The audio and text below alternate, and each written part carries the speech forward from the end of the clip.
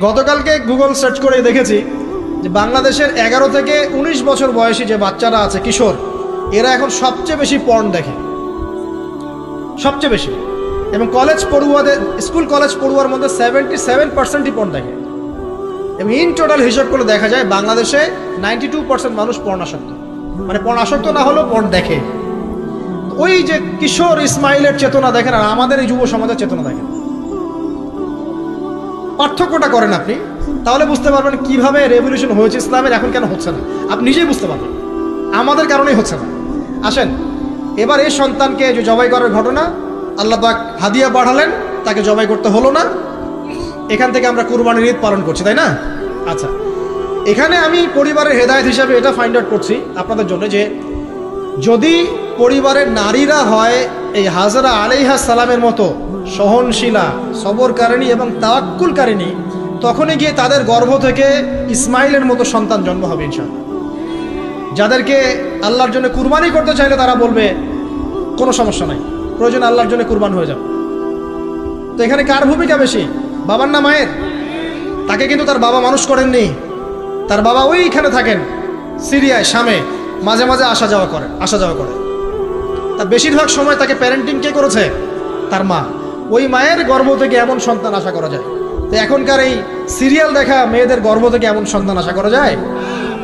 এখনকার ওইসব মেয়েদের গর্ভ থেকে আশা করা যায়? এটা স্বামী দিতে পারলে সে খুশি, দিতে না পারলে অসন্তুষ্ট, বেজার। স্বামীকে প্রেশার দিতে দিতে, মানসিক কষ্ট দিতে দিতে স্বামীকে বুড়া বানায় ফেলে দিয়েছে। আমাদের নবীজি দোয়া করতেন আল্লাহর কাছে, আল্লাহ, আমি এমন স্ত্রী থেকে তোমার কাছে আশ্রয় চাই যে আমাকে বৃদ্ধ হওয়ার আগেই বুড়া বানায় ফেলবে।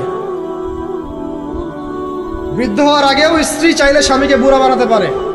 দেখা যায় অনেক সময় অনেক পরিবার স্ত্রীদের মানসিক টর্চারের কারণে স্বামীরা স্ট্রোকের শিকার হয়, রোগ ব্যাধির শিকার হয়, হার্ট স্ট্রোক করে, হাই প্রেশারের শিকার হয়, পেরেশান, দিনের জন্য কাজ করা তো দূরের কথা। দুনিয়া সামলাতে তার সারাদিন চলে যায় এই নারীরা কি হাজারা আলী সালামের মতো?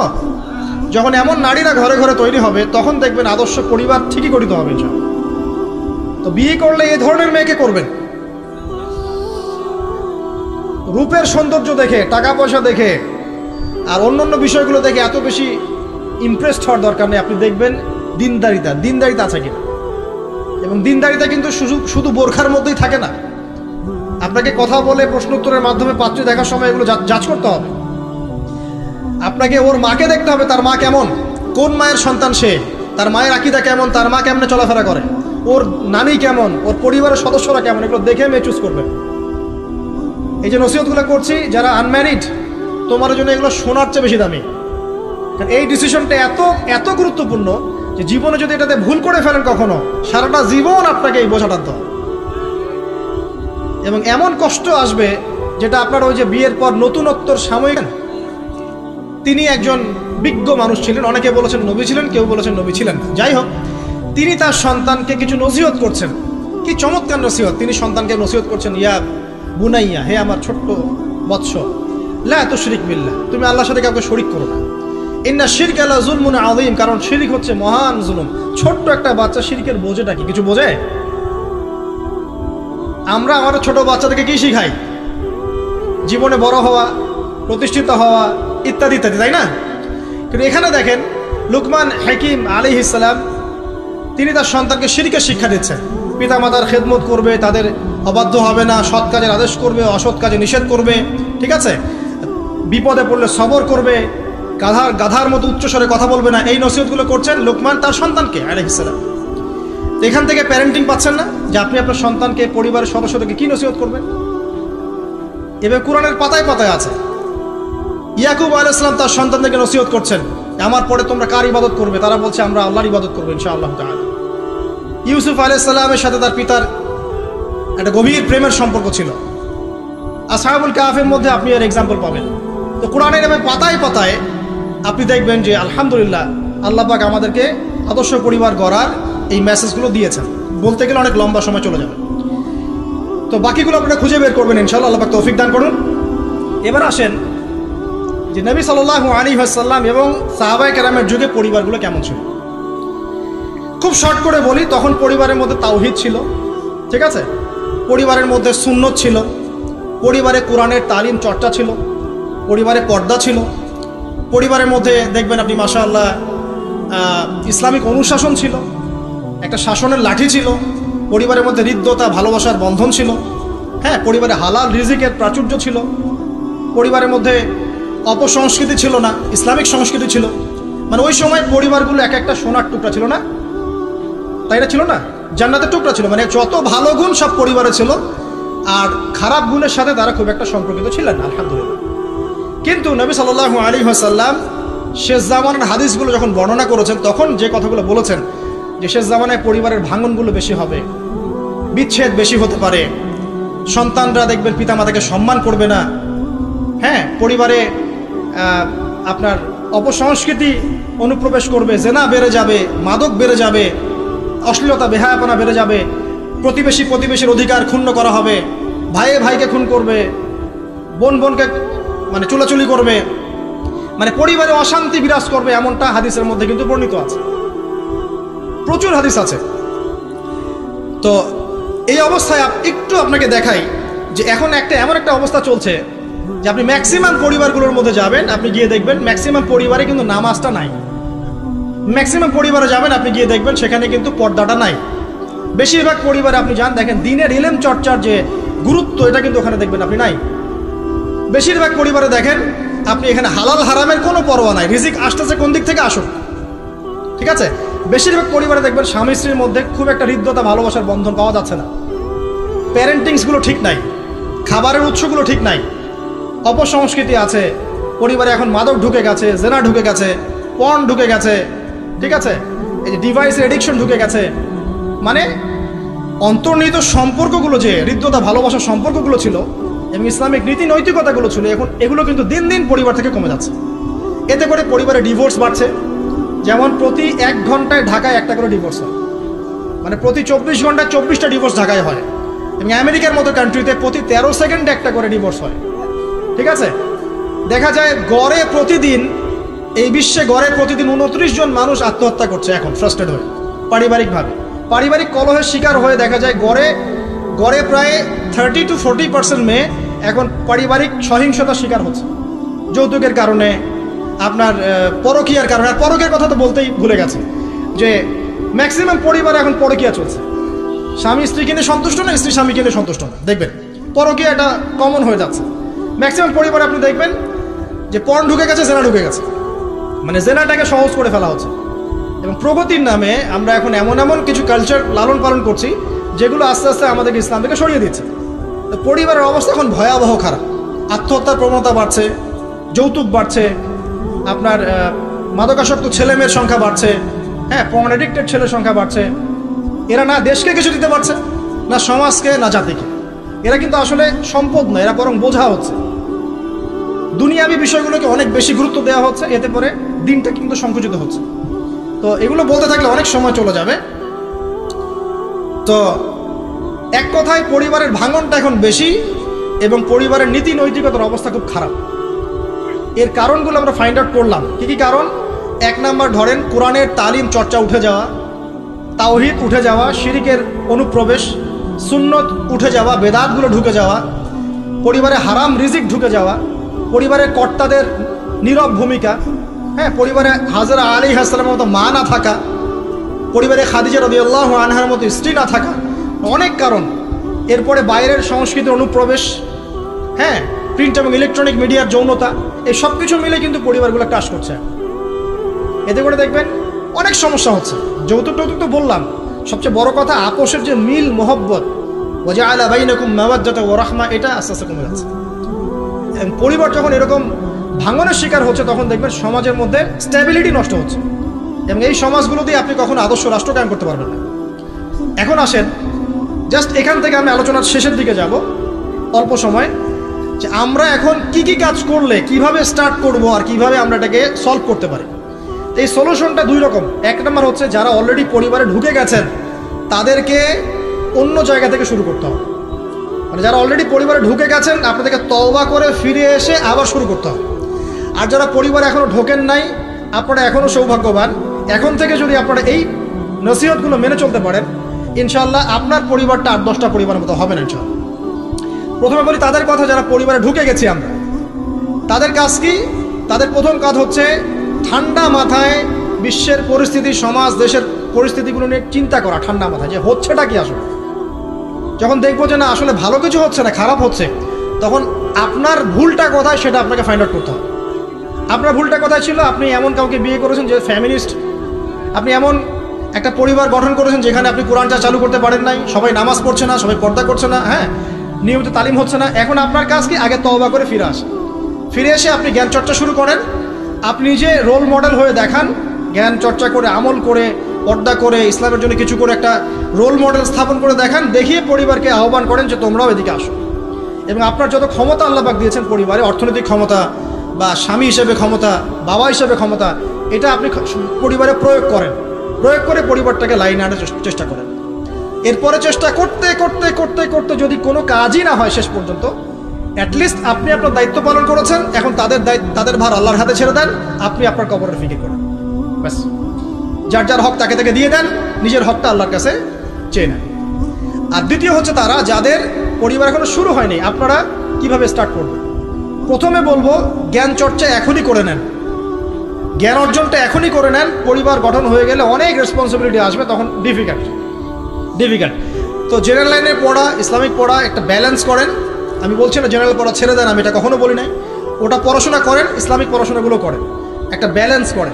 করে আপনি পাঁচ ওয়াক্ত নামাজ শুরু করেন। আল্লাহ রাস্তায় সময় লাগান, কোরআন তেলাওয়াত করেন আলেমন আমার সৌবতে যান। হ্যাঁ আত্মশুদ্ধিমূলক কাজ করেন সমাজ কল্যাণমূলক কাজ করেন। পাশাপাশি আরও বলব যে, দিনই কাজে ব্যস্ত থাকেন। দিনই কাজে ব্যস্ত থাকেন, ভালো কাজে ব্যস্ত থাকেন। এভাবে নিজের ভিতরটাকে আগে পরিশুদ্ধ করে নেন। এরপর আপনি একটা হালাল রিজিকের চেষ্টা করেন। একটা হালাল, পবিত্র রিজিক হোক, সেটা কৃষিকাজ। লজ্জার কিচ্ছু নাই। কৃষিকাজ লজ্জার কোনো প্রফেশন নয়, গর্বের প্রফেশন কারণ আল্লাহ পাক বহু নবীকে রাখালি করিয়েছেন, পশুপালন করিয়েছেন, জানেন? মুসা আলাইসালামকে আল্লাহ পাক পশুপালন করিয়েছেন আট বছর, দশ বছর। এগুলো কোনো লজ্জার প্রফেশন নয়। এটা গর্বের প্রফেশন আপনি হালাল রিজিক, অর্থনীতি হোক, আপনার কৃষিভিত্তিক হোক, বা ব্যবসা করেন হালাল কোনো, বা গভর্নমেন্ট জব বড় বড় গভর্নমেন্ট জবের জন্য ট্রাই করেন, সেটাও ভালো। যদি না পান, বেসরকারি জব পান, আলহামদুলিল্লাহ। খেয়াল রাখবেন জব করতে গিয়ে, ব্যবসা করতে গিয়ে, এবং রিজিকের সন্ধান করতে গিয়ে, আপনার নামাজ যেন ছুটে না যায়। আপনার আপনার রিজিকে হারাম যেন ঢুকে না যায়, আপনাকে যেন সুদ খেতে না হয়, আপনাকে যেন ফ্রি মিক্সিংয়ে যেতে না হয়, এগুলো খেয়াল রাখেন। খেয়াল রেখে একটা হালাল রিজিকের সোর্স আগে বের করেন। প্রয়োজন উদ্যোক্তা উদ্যোক্তা হন, নতুন কিছু উদ্যোগ উদ্যোগ গ্রহণ করেন, উদ্যোক্তা হয়ে নিজে কিছু প্রতিষ্ঠা করে দেখান, এমন কিছু করেন। এরপরে আপনি বিয়ের ফিকিরটা করেন। রিজিকের ব্যবস্থাটাকে করে নেন, তারপরে ওদিকে যান। আপনার আপন ভাই হিসেবে আমি কথাগুলো বলছি, মনে করেন। এরপরে আপনি যখন বিয়ে করবেন, বললাম তো, মেয়ের জাস্ট দিনদারিতা দেখবেন। হ্যাঁ এর উপর যদি সৌন্দর্য থাকে, আলহামদুলিল্লাহ। বংশ ভালো হয়, আলহামদুলিল্লাহ। মেয়ের অর্থ সম্পদ আছে, আলহামদুলিল্লাহ। যদি এগুলোর কোনোটাও না থাকে দিনদারিতা থাকে জাস্ট ওটাকে দেখেন, আর কিছু দেখার দরকার। কিছু দেখার দরকার এরপরে আরেকটা কথা বলতে ভুলে গিয়েছি যে, আপনি এই লেভেলে যাওয়ার আগে নিজেও পবিত্র থাকার চেষ্টা করেন আপনি নিজে জেনায় যায় না, নিজে পড়নে যায় না, নিজে হারাম অ্যাফেয়ার্সে যায় না। যদি আপনি যান, তাহলে আল্লাহ পাক কিন্তু আপনাকে পবিত্র স্ত্রী নাও দিতে পারেন এটাই আল্লাহ পাকের নীতি, যে একজন পবিত্র মানুষ পবিত্র মানুষ পায়। ঠিক আছে? যে যেমন আল্লাহ পাক তাকে তেমন মিলিয়ে দেন, এটা আল্লাহ পাকের একটা সুন্না এর ব্যতিক্রম হতে পারে। কিন্তু আপনি যদি পবিত্র না থাকেন, আপনি পবিত্র স্ত্রী নাও পেতে পারেন। তা আপনি আগে নিজে পবিত্র থাকেন, তারপরে আপনি এখন মেয়ে দেখেন। আলহামদুলিল্লাহ, বললাম দিনদারিতা প্রাধান্য দেন। এখানে হাদিসে এটা বলা হয় নাই যে চারটা গুণ দেখে বিয়ে করো, বরং বলা হয়েছে চারটা গুণ দেখে সাধারণত বিয়ে করা হয়। ঠিক আছে? করো আদেশটা এমন নয়। ইনকাহ কথাটা এমন নয় বা ইনকাহু এমন নয়। তুন কাহু মানে বিয়ে সাধারণত করা হয়। কেউ টাকা দেখে, কেউ সৌন্দর্য দেখে, কেউ দেখে বংশ। তুমি দেখো দিন। নবীজি বলছেন, তুমি দিন দেখো নাহলে তোমার হাত ধুলে ধূসরিত হবে মানে ধ্বংস হয়ে যাবে তুমি আর দিন দেখার ক্ষেত্রে শুধু বাইরের গেট যথেষ্ট নয়। তার পড়াশোনা দেখেন তার হিস্ট্রি ঘাটবেন তার অতীতে সে কোথায় কোথায় পড়াশোনা করেছে, কি করেছে, খোঁজ খবর নেবেন। হুট করে তাড়াহুড়া করে কোনো ডিসিশন নিয়ে ফেলবেন না। এটা খুব ভুল করে মানুষ, ঠিক আছে? তার হিস্ট্রি ঘাটেন। যে সে কোথায় পড়াশোনা করেছে, কি করেছে, না করেছে, তার পরিবারের বায়োডাটা ঘাটেন। তার পরিবারের সদস্যরা কেমন, নামাজ পড়ে কি না তার ইসলামের প্রতি কেমন ধারণা পোষণ করে? তার মাকে দেখেন, তার মা পর্দা করে কি না তার মা ইসলামের উপর আছে কি না তার নানিকে দেখেন, তার পরিবারবর্গকে দেখেন। তারপর একটা আপনি ডিসিশন নেওয়াটা সহজ হবে। এগুলো চেয়ে ব্যতিক্রমও হতে পারে। ওই আজারের পরিবারে ইব্রাহিমের জন্ম হতে পারে। ফেরাউনের আন্ডারে আসিয়ার জন্ম হতে পারে, থাকতে পারে, কিন্তু এটা ব্যতিক্রম। নর্মালি কিন্তু সবসময় এমনটা হয় না। যে প্যারেন্টিংস দিয়ে তারা বড় হয়েছে, ওই প্যারেন্টিংস তাদের মধ্যে থেকে যায়। এই কারণে মেয়ের মেয়ের ব্যাপারে খুব সেন্সিটিভ থাকবেন। আগে পুরো বিষয়গুলো ঘেটে নিয়ে তারপরে আপনি কোনো জায়গায় পা দেন। তারও আগে ইস্তেখারা করবেন আল্লাহর কাছে। যে আল্লাহ, আমি তোমার কাছে ইস্তেখারা করছি, আমি জানি না যে কোনটা আমার জন্য ভালো হবে, কোনটা খারাপ। আল্লাহ, এটা যদি আমার জন্য ভালো হয়, সহজ করে দাও। যদি খারাপ হয়, আল্লাহ দূর করে দাও। নিজের উপর চাপ চাপ নিয়েন না। তারপরে, যদি দেখেন, আলহামদুলিল্লাহ, দিনদার, আর ডানে বামে দেখার দরকার নাই। যদি আপনি আপনার মনের মতো দিনদার, পবিত্র একজন মেয়ে পেয়ে যান, আর যদি সে সুন্দরীও হয় মাশা আল্লাহ আর ভালো বংশের হয়, তাহলে সারাটা জীবন তাকে নিয়ে কাটিয়ে দেন। সারাটা জীবন তাকে নিয়ে কাটিয়ে দেন, আপনি হ্যাপি হবেন ইনশাআল্লাহ। ডানে বামে দেখার আর দরকার নাই। যদিও একাধিক বিয়ের অনুমতি আছে, কোরআন সুন্নায় সব কিছুই আছে, কিন্তু এখন বাস্তবতাটাও বুঝতে হবে। কীরকম? কোরআন সুন্নায় এমন অনেক কিছুই আছে যেটা বাস্তবে ইমপ্লিমেন্ট করাটা এতটাও সহজ না। যখন যারা করতে চায় তাদেরকে অনেক অনেক হ্যাসেল পোহাতে হয়। কারণ সমাজটা যেহেতু এমন না কোরআন সুন্নায় আছে যদিও, কিন্তু সমাজটা এমন না। কারণ ওই ব্যক্তি কোরআন সুন্না মানতে গেলে দেখা যায় সমাজ থেকে ব্যাপক হ্যারাসমেন্টের শিকার যদিও এটা তার দোষ না। এটা আল্লাপাক তাকে হয় পরীক্ষা করছেন, অথবা এই অবস্থায় তার গোনা মাফ করবেন। কিন্তু নর্মালি যেটা চলছে, এখানে আপনি আপনার বেস্টটা নেন। যেটা অপশনাল সেদিকে যাওয়ার দরকার নেই। এটা আমার নসিহত। কারণ সবার ওই শক্তি সামর্থ্য থাকে না সব কিছু সুন্দর মতো টাইটলি হ্যান্ডেল করতে পারব আর বলা যত সহজ করার ব্যাপারটা এতটাও সহজ নয়। সো আর এই তো জেনারেশনের মেয়ের তো দেখছেন। পান থেকে চুন চুন ঠসলেই দেখবেন যে বিশাল তুল কালাম হয়ে যাচ্ছে। তো যদি আপনাকে আল্লাহ পাক আপনার পবিত্রতার কারণে, আপনার ইমান আমলের কারণে খুশি হয়ে এমন একজন দিনদার, নেককার, পুণ্যবতী, সুন্দরী, সুশ্রী স্ত্রী দিয়ে দেন, আর ডানে বামে কখনো দেখবেন একদম তাকে নিয়ে পুরো লাইফটা কাটিয়ে দেবেন। ঠিক আছে? এরপরে দোয়া করবেন, আল্লাহর কাছে আল্লাহ এটার মধ্যে কল্যাণ, বরকত দান করো। বিবাহের ক্ষেত্রে আপনি মোহরটাকে কম করবেন। আপনি মোহর মানে মেয়েদেরকে বলছি, মেয়ের বাবা থেকে বলছি সামর্থ্য অনুযায়ী করবেন। ছেলের সামর্থ্য অনুযায়ী করবেন, তার উপরে বোঝা চাপিয়ে দিবেন। কেয়ামতের আলামতের হাদিস আমি এটাও পড়েছি শেষ জামানায় মোহর অনেক বেশি করা হবে, দেওয়া হবে কম। হয় না এমন? আর আর বাকি আছে আলামতের কিছু? তো ওই চিটারির মধ্যে নাই আপনি। আপনি বলছেন এক লাখ এক লাখ আমি দিব, নগদ ব্যাস। নগদ বলছেন পাঁচ লাখ দেওয়ার সামর্থ্য আছে আমার, পাঁচ লাখ দিব যে নগদ শেষ পরে মাফ নিয়ে নিব, এইসব বার্গেটিং আপনি নাই। আর এখনকার বিবাহগুলো দেখলে মনে হয় যে, মেয়ের বাবা ছেলেকে বিক্রি করছে, আর ছেলের বাবা মেয়ে কিনছে। সবচেয়ে বেশি মোহর দেখা যায় যে, চিটাগাং এরিয়ার দিকে আর কি। এবং আপনি জানেন কি না সবচেয়ে বেশি বিবাহ বিবাহ বিচ্ছেদ ওই জায়গায় বেশি। বাংলাদেশে বিবাহ বিচ্ছেদ দেখা যায় যে প্রতি চব্বিশ ঘন্টায় দেখা যায় আঠাশটা উনত্রিশটা। বাংলাদেশে। হ্যাঁ শুধু তাই না, আমি দেখলাম যে দশ লক্ষ মেয়ে অতিরিক্ত আছে পুরুষদের তুলনায় সমাজে ঘুরে বেড়াচ্ছে, স্বামী নাই। দশ লক্ষ মেয়ে। এবং এই ডিভোর্স দেওয়ার ক্ষেত্রে দেখা গেছে যে মেয়েদের প্রবণতা বেশি। সেভেন্টি পার্সেন্ট মেয়ে ডিভোর্স দিয়েছে, ছেলে দেয় নাই। থার্টি পার্সেন্ট ছেলে। তাহলে মেয়েদের সাইকোলজি চিন্তা করেন। ও মনে করছে আমি তো এখন শিক্ষিত হয়ে গেছি। তোমাকে আমার দরকার নাই, আমি চাকরি করে খাব। খুব বেশি শিক্ষিত দরকার নাই আপনার। দিনই শিক্ষা আছে কিনা ওটা দেখবেন। ফ্যামিলিস্ট মেয়েদেরকে নেওয়ার দরকার নাই। আপনি নেবেন, ইসলামিক অনুশাসনে চলে এমন মেয়ে। এরপর যখন পরিবার স্টার্ট হবে, আল্লাহর কাছে বরকত চাবেন, বিয়েটা সহজ করে নেবেন, যে বিয়েতে খরচ যত কম, সে বিয়েতে আল্লাহর বরকত তত বেশি। হাদিস। অলিমা হবে, মাশাআল্লাহ আপনার বিবাহিত জীবন মোবারক হোক, দোয়া করি। এরপরে দেখবেন, উভয়ের মাঝখানে আল্লাহ পাক আপনাদের মাঝখানে ভালোবাসা ঢালবেন ইনশাআল্লাহ। সুরা রুমের মধ্যে আল্লাহ পাক বলেছেন, ওয়াজআলা বাইনাকুম মাওয়াদ্দাতা ওয়া রাহমা। আমি আল্লাহ স্বামী স্ত্রীর মাঝখানে ভালোবাসার ভ্রাতৃত্ব ঢেলে দিয়েছি। এটা আল্লাহ পাকের আল্লাহ পাকের একটা আয়াত, নিদর্শন। এবার আপনি পরিবার গঠন করেছেন। এখানে আমি কয়েকটা কথা বলি। যে উভয়ের মাঝখানে খুব চূড়ান্ত লেভেলের ভালোবাসা এটাই যথেষ্ট নয় পরিবার সুখী হওয়ার জন্য। পরিবারের মধ্যে এখন থাকতে হবে সলাদ কি থাকতে হবে ভাই? সলাদ পরিবারে থাকতে হবে কোরআন। পরিবারে থাকবে সুন্না পরিবারে থাকবে ইসলামী অনুশাসন। পরিবারে থাকবে খাস পর্দা। আপনার বউকে মানুষ দেখেই নাই। এরকম পর্দা। আর কাপড় খোলা তো অনেক দূরের কথা। আমার এমন স্ত্রী আপনার স্ত্রীকে দেখেই নেই মানুষ। বাধ্য না হলে সে বাইরেই আসবে না। বাধ্য হয়েছে, আসছে।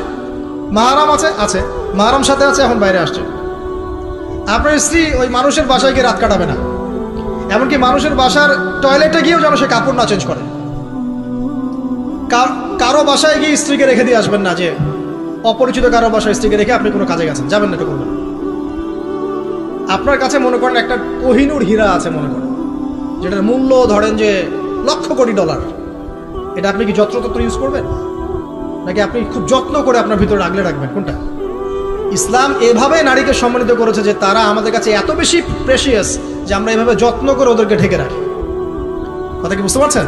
আর তোমাদের কাছে মেয়েদের দাম নাই, তোমরা ল্যাংটা হয়ে করো, তোমাদের কে বাধা দিয়েছে?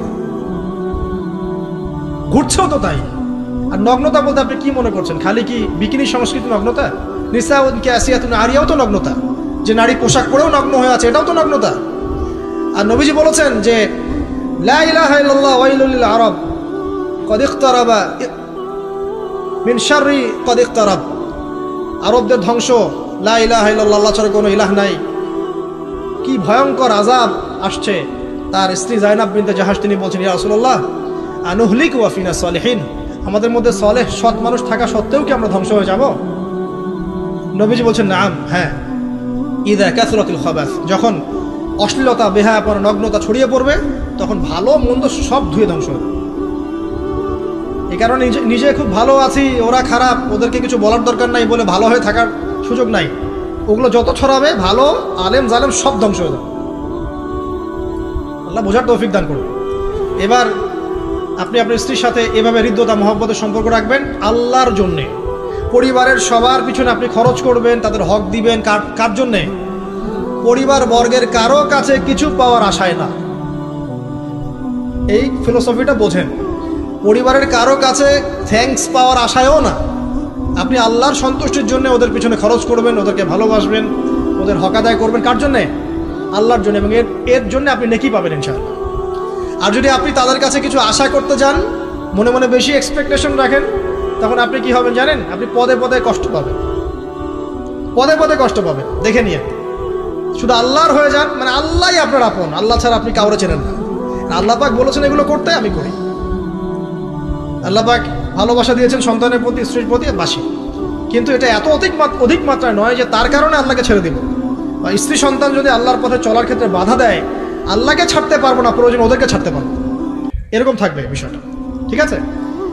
আরেকটা কথা বলি, শুধু ভালোবাসাই আদর্শ দাম্পত্যের জন্য যথেষ্ট নয়। এখানে প্রয়োজন হচ্ছে একে অপরের প্রতি সম্মানবোধ থাকতে হবে। একে অপরের প্রতি বিশ্বাস থাকতে হবে, বিশ্বাস। বিশ্বাস না থাকলে ওই পরিবারে শান্তি থাকে না।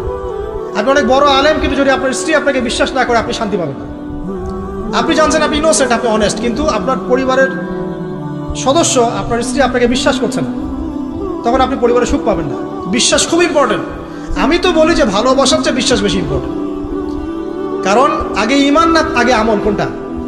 আগে ইমান মানে কি? বিশ্বাস না? আগে বিশ্বাস, তারপরে না আমল। ভালোবাসা একটা আমল। আর বিশ্বাসটা কি? ইমান। আমার প্রতি যদি আপনার ইমান না থাকে, তাহলে আপনি আমাকে ভালোবাসবেন কীভাবে? বিশ্বাস থাকতে হবে, স্বামীর প্রতি, স্ত্রী স্ত্রী প্রতি স্বামী। এবং এখানে পুরুষদেরকে সহনশীল হতে হবে, কারণ আপনার স্ত্রী সারা জীবনে আপনাকে প্রচুর পেইন দিতে পারে। এবং এটা মেয়েদের ফিতরত।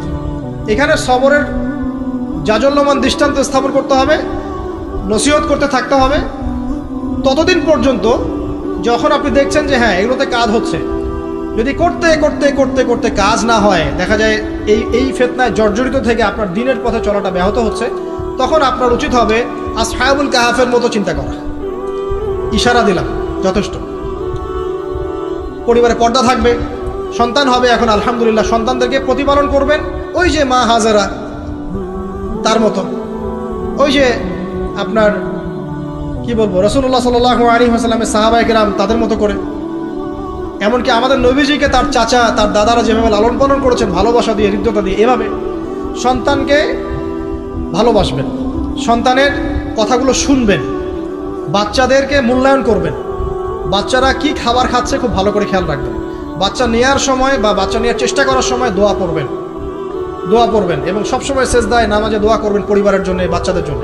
আল্লাহ আমার পরিবারের উপর শান্তি দাও, বাচ্চাদেরকে ভালো মানুষ বানাও। রব্বানা হাবলানা মিন আজওয়াজিনা ওয়া যুররিয়াতিনা কুররাতা আয়ুন ওয়াজআলনা লিল মুত্তাকিনা ইমামা এই দোয়া বেশি বেশি করবেন রব্বি হাবলি মিনাস সালিহিন। বেশি বেশি আপনার একটা নেক সন্তান আগামীতে এই উম্মতের দায়িত্ব নিতে পারবে ইনশাআল্লাহ। হাজার হাজার গবাদি পশুর দরকার আছে। একটা ইব্রাহিম, একটা ওমর, একটা খালিদ বিন ওয়ালিদ আপনি জন্ম দিয়ে দেখান।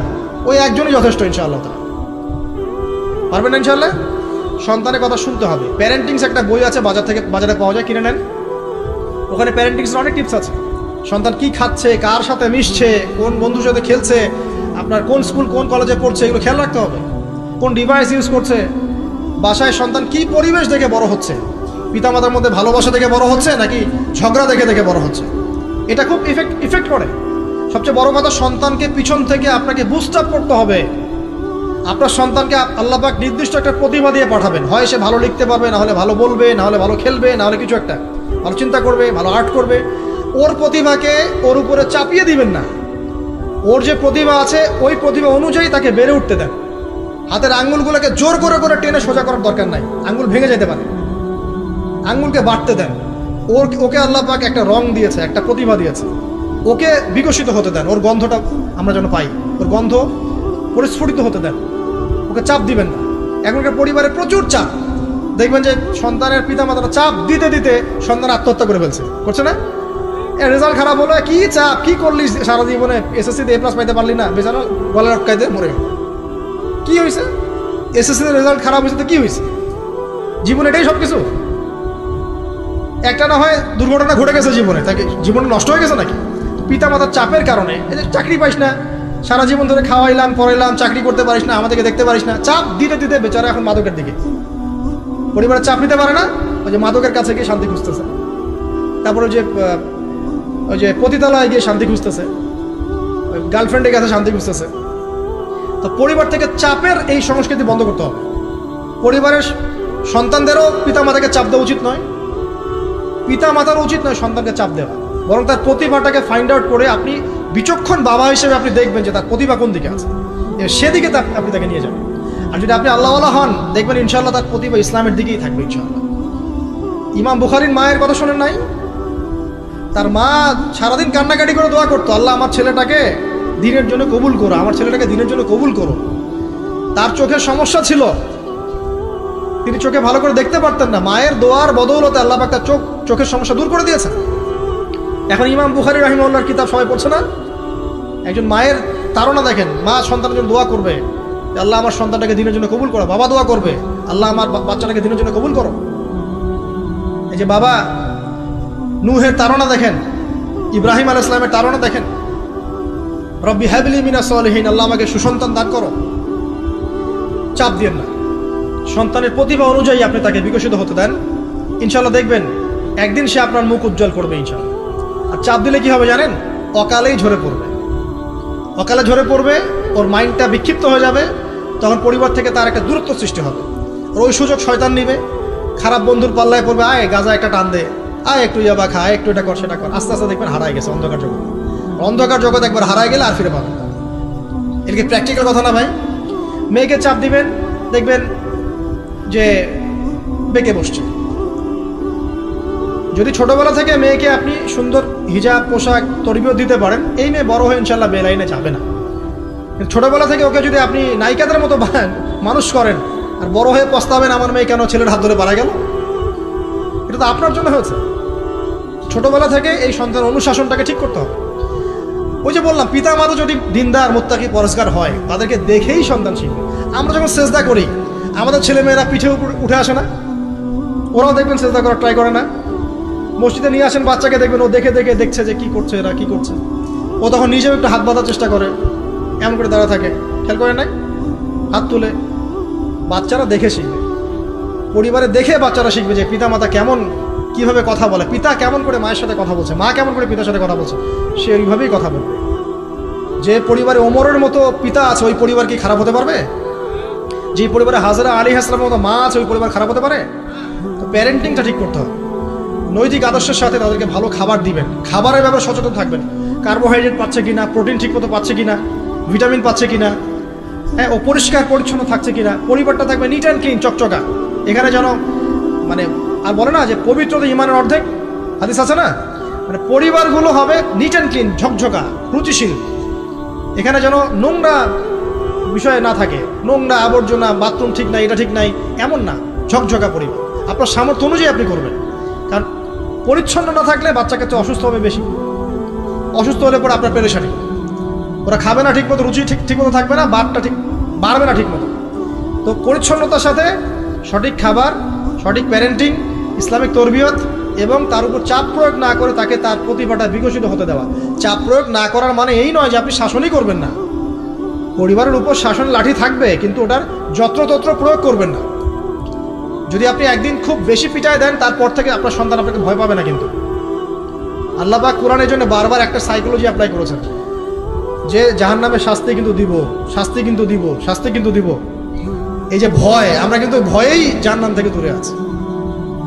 তো এটা একটা সাইকোলজি এভাবে পরিবার এগিয়ে যাবে ইনশাল্লাহ সন্তান বড় হবে। আপনি মিরাস সন্তানের মিরাস ডিস্ট্রিবিউট করবেন, যার যার হক তাকে তাকে দিবেন। তারপরে পরিবারের মধ্যে আর কয়েকটা বিষয় যা শেষ করে দেয় যে পরিবারের মধ্যে নিয়মিত কোরআনের চর্চা থাকবে। সন্তান, সন্ততি, তারা ইসলামিক অনুশাসন পাচ্ছে কিনা, ইসলামিক পড়াশোনা করছে কিনা, খেয়াল রাখতে হবে। যদি জেনারেল লাইনেও পড়ে, তারপরেও আপনি ইসলামিক টিচার দিয়ে হলেও, মাদ্রাসায় পার্ট টাইম মাদ্রাসা দিয়ে হলেও কোরআন শেখান হিপস করান। ওকে এদিকে গড়ে তোলেন, ওদিকে গড়ে তোলেন। আমরা এমন প্রজন্ম যাচ্ছি না যারা এককেন্দ্রিক। আমরা যাচ্ছি এমন প্রজন্ম যারা কোরআন সুন্নাকে হাতে নিয়ে ওয়ার্ল্ডকে ডিল করতে পারে, ওয়ার্ল্ডকে চ্যালেঞ্জ করতে পারে। এই চ্যালেঞ্জ করতে হলে আপনাকে সব ধরনের জ্ঞান অর্জন করতে হবে। খেয়াল রাখেন, পরিবারে যেন ফ্রি মিক্সিংটা না আসে। পরিবারে যেন এই যে নারী পুরুষের অবাধ মেলামেশা না আসে। বেশিরভাগ ধর্ষণ হয়েছে বাংলাদেশে কাছের মানুষদেরকে দিয়ে চাচার মাধ্যমে মামার মাধ্যমে কাজিনের মাধ্যমে খালাতো ভাইয়ের মাধ্যমে খালাতো এ, ফুফাতো ভাইয়ের মাধ্যমে কাছের মানুষদের দ্বারা বেশি রেপ হয়েছে বাংলাদেশে। জরিপ পরিসংখ্যান দেখেন। অতএব ইসলাম যে বলেছে পর্দার বিষয় এটা এমনি এমনি বলে নাই। ও কাজিন হয় ওর সামনে এত ইয়া করার কি আছে? এইসব কনসেপ্ট চলবে না। পর্দাটা একদম ম্যান্ডেটরি পরিবারের সালাম পর্দা অনুশাসন এটা ম্যান্ডেটরি বিষয়। না খেয়ে মরে যান, তাও পর্দা ছাড়া যাবে না। মানে বিষয়টা এমন স্ট্রিক্টলি নিতে হবে, যদিও বা বাধ্যগত অবস্থায় আল্লাহ পাক আপনাকে ছাড় দিয়েছেন, কিন্তু আপনাকে এইভাবে শক্তভাবে ধরতে হবে। আল্লাহ পাক তৌফিক দান করুন। এর পাশাপাশি কিছু বিষয় বলব, যেগুলো মোটেই পরিবারে ঢোকানো যাবে না। এটা বলে শেষ করছি। দুই মিনিট। এক পরিবারের শিরিক ঢোকানো যাবে না। শিরিক কি কি, কত প্রকার, এটার জন্য কিতাব তাওহিদ নামে একটা বই আছে, পড়েন ইনশাল্লাহ পারবেন। পরিবারে বেদাতি আমল ঢোকানো যাবে। দুই তিন, পরিবারে হারাম রিজিক ঢুকানো। পরিবারে হারাম রিজিক ঢুকবে, ওই হারাম রিজিকের মানে টাকা দিয়ে আপনার রক্ত, মাংস তৈরি হবে, এই রক্ত, মাংস কিন্তু আল্লাহর অনুগত হবে না। ইল্লা মাশা আল্লাহ হারাম রিজিক থেকে দূরে থাকতে হবে। পরিবারের মধ্যে ক্রন্দল যেন না থাকে। এই চেষ্টাটা আপনাকে করতে হবে। বললাম তো, এটা অ্যাভয়েড করার জন্যে আপনি আল্লাহর হয়ে যান। নসিহত করেন, হাজার নসিহত করেও যদি কাজ না হয়, আপনি নিজে আসহাবুল কাহাফ হয়ে যান। তাও ভালো। পরিবারের মধ্যে অপসংস্কৃতি যেন না ঢোকে। পরিবারের মধ্যে অশ্লীলতা যেন না ঢোকে। পরিবারে এখনকার চলমান যে ফিতনাগুলো চলছে, এই যে ডিভাইসের মাধ্যমে, গেমিংয়ের মাধ্যমে যে আপনি বলেন পাবজি, টাবজি, ফ্রি ফায়ার, হাবিজাবি হ্যাঁ ইন্টারনেট সেকশনের যে নগ্নতা তারপরে অনলাইনে যে জুয়া ঢুকেছে, লুডু ঢুকেছে, কত কি ঢুকেছে, আমি আসলে এগুলো শুনেছি, আমি দেখিনি এগুলো কিছু। আমি যা শুনি এগুলো। এই যে বিষয়গুলো, সেগুলো আপনার পরিবারের নৈতিক মূল্যবোধটাকে নষ্ট করে ফেলবে। বিনোদন যদি পেতেই হয়, তাহলে বিনোদন, কায়িক বিনোদন নেন। পরিবারের সন্তানদেরকে বা আমাদের সদস্যদেরকে জিম করতে বলেন, খেলাধুলা করতে বলেন ফুটবল খেলুক ক্রিকেট খেলুক, প্রয়োজনে। যদি গান শুনতে চান, ইসলামিক নাসিদ শোনেন। ঠিক আছে, কৌতুক চান, ইসলামিক রসিকতা করেন। ঘোরেন। প্রয়োজনে পরিবারবর্গকে নিয়ে ঘুরেন, দেশটা ঘুরে আসেন। ট্রাভেল করেন, ঘোরেন, আল্লাহর নিদর্শন দেখেন। এটাও তো এন্টারটেনমেন্ট নাকি? পরিবারকে সময় দেন, পরিবারকে সময় দিয়ে আপনি এই যে প্রাকৃতিক বিনোদনের দিকে চলে যান ডিভাইস কেন্দ্রিক বিনোদনের দিকে যান। নাহলে হবে কি, মাথাটা ওই ডিভাইস কেন্দ্রিক হয়ে যাবে, অস্থির, এবং এই মাথার মধ্যে আর কোরআন, সুন্নার সঠিক জ্ঞানটা ঢুকবে না। তো এই কাজগুলো যদি আমরা না করি, ইনশাআল্লাহ পরিবার ভালো হবে। আল্লাহ রবুল্লা আলমিন আমাদের সবাইকে আদর্শ ইসলামিক পরিবার গড়ে তোলার তৌফিক দান করুন, আমিন। আর তাদের কথা বলে শেষ করি যে যারা অলরেডি ঢুকে গেছি, এই সমস্যাগুলো ফেস করছি, এখন এক নাম্বার কাজ ভাই, আগে তওবা করে আল্লাহর কাছে ফিরে আসতো যে আল্লাহ, আমি জীবনে যা ভুল করেছি করেছি। এখন থেকে আর ইনশা আল্লাহ আমরা এই আল্লাহ দ্রোহী কোনো কাজে যাব না। এই এই তওবা ইস্তেকফার করে আপনার স্ত্রীকে ঠান্ডা মাথায় বোঝানোর চেষ্টা করতে হবে। যে দেখো, আমরা তো এক পর্যায়ে পর্যন্ত চলেছি, জীবনটা তো অনেকদিন চলেই গেল। একসময় মরতে হবে। তো আমরা আল্লাহ এবং তার রসুলের কথা শুনি, ফিরে আসি। অল্প অল্প করে শুরু করে, নামাজটা পড়ো তুমি। একটু পর্দাটা করো। প্রথমে খাস পর্দা করছ না হয়তো? আপনি বলেন, মাথায় কাপড়টা দাও অ্যাটলিস্ট হ্যাঁ বাইরে সবার সামনে যেও না। দিনকাল ভালো না। এখন মেয়েদের ইজ্জত সম্মানের ঝুঁকি হচ্ছে। এভাবে বোঝানোর চেষ্টা করো। আস্তে আস্তে তবা করে ফিরে আসলে পরে তখন আপনি নামাজটাকে বাড়ান, নফল আমল বাড়ান, দান সৎকা বাড়ান। এবং বেশি থেকে বেশি আল্লাহকে দোয়া করেন, আল্লাহ আমার পরিবারটাকে হেফাজত, আল্লাহ আমার পরিবারটাকে হেফাজত করো বলতে থাকেন এবং দিনই কাজে পরিবারকে ব্যস্ত রাখেন এবং এরকম আদর্শ পরিবারগুলোর মধ্যে একটা কমিউনিটি গড়ার চেষ্টা করেন, অভ্যন্তরীণ যোগাযোগ রাখার চেষ্টা করেন, নাহলে একা একা তো চলা যাবে না। আপনি আদর্শ পরিবার গড়েছেন পাশের বাড়ির লোকটা করে নাই। তখন সেখানে গিয়ে আপনার সন্তান শিখবে, সেখানে গিয়ে আপনার স্ত্রী শিখবে। দিনই পরিবারগুলোর মধ্যে একটা হৃদ্যতা, ভালোবাসা এবং নেটওয়ার্কিং তৈরি করেন। পাশাপাশি দিনই প্রতিষ্ঠান গড়ে তোলেন। প্রতিষ্ঠানের মাধ্যমে কিন্তু পরিবারের লোকজনের সাথে দেখা সাক্ষাৎ হবে। অনেকগুলো পরিবার সেখানে বাচ্চা কাচ্চা ভর্তি করা হবে। সেখানে দেখবেন একটা কমিউনিটি আপনি পাচ্ছেন। এভাবে, শেষ করে দেয় এভাবে তাওহিদের চর্চা, এক, সুন্নতের প্রতিষ্ঠা, দুই, তিন, হালাল রিজিক, চার, হৃদ্যতা, ভালোবাসা, পাঁচ, সবর, ধৈর্য, ছয়, আল্লাহর কাছে দোয়া, বেশি বেশি দোয়া, সাত কি? পর্দা, আট, অপসংস্কৃতির প্রতিরোধ, ঠিক আছে? নয়, সন্তানদেরকে আগামী প্রজন্মে, আগামী মুসলিম জেনারেশনকে লিড দেওয়ার মতো করে তৈরি করা। আর দশ মনে করেন, আমাদের মেয়েদের দিকে স্পেশালি মেয়ে, শিশু, কন্যা হোক, মেয়ে হোক, বোন হোক, মা হোক, তাদের দিকে স্পেশাল নজর রাখা। এই কাজগুলো করার মধ্য দিয়ে ইনশা আল্লাহ আলা আমরা ব্যক্তিগত পর্যায়ে আপোষে একটা আদর্শ পরিবার, জান্নাতের টুকরা করতে পারব ইনশা আল্লাহ আজাল এবং এই টুকরাগুলো যখন একে অপরের সাথে কানেক্টেড থাকবে, তখন আদর্শ সমাজ হবে ইনশাল্লাহ য- যখন এরকম করে পরিবারগুলো গড়ে উঠবে, তখন সমাজের কাঠামো চেঞ্জ হয়ে যাবে। আর ওই সমাজকে দিয়ে আপনি ইনশাল্লাহ ইসলামিক কোনো রেভলিউশন প্রতিষ্ঠা করতে পারবেন আদারওয়াইজ হয়তো পারবেন না। এর বিপরীতে যা আছে, সবই শয়তানের কাজ। জাহেলিয়াত, ফাসেকি, জুলুম, অন্যায়, পাপাচার। এগুলো থেকে সম্পূর্ণ তওবা করে আল্লাহ পাক আমাদেরকে জান্নাতি আদর্শ পরিবার গড়ে তোলা তৌফিক এনায়াত করুন, আমিন। আমি এই বলে আমার সংক্ষিপ্ত আলোচনা এখানে শেষ করছি।